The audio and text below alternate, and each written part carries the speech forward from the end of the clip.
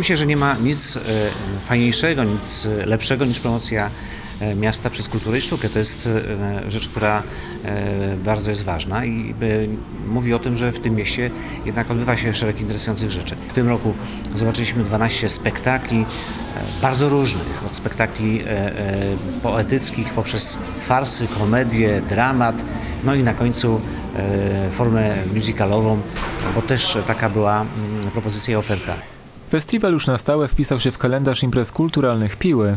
Do miasta nad Wgdą w listopadzie zjechali się najlepsi aktorzy i reżyserzy, a sala Regionalnego Centrum Kultury pękała w szwach. Na deskach teatru można było zobaczyć 12 spektakli, w tym m.in. atrakcyjny pozna paniom, single po japońsku czy pozytywni. Do Piły zjechały się także znakomite postacie jak Magdalena Boczarska, Olga Bołądź, Sylwester Maciejewski czy Joanna Brodzik. Festiwal Teatr Pasja Rodzina znany jest w całym kraju. Sami aktorzy bardzo chętnie mówią o Pile i występach na scenie Teatru Aktorzy lubią wracać zarówno do pilskiej publiczności, która czeka na nich cały rok, jak i do pięknych wnętrz Teatru Miejskiego.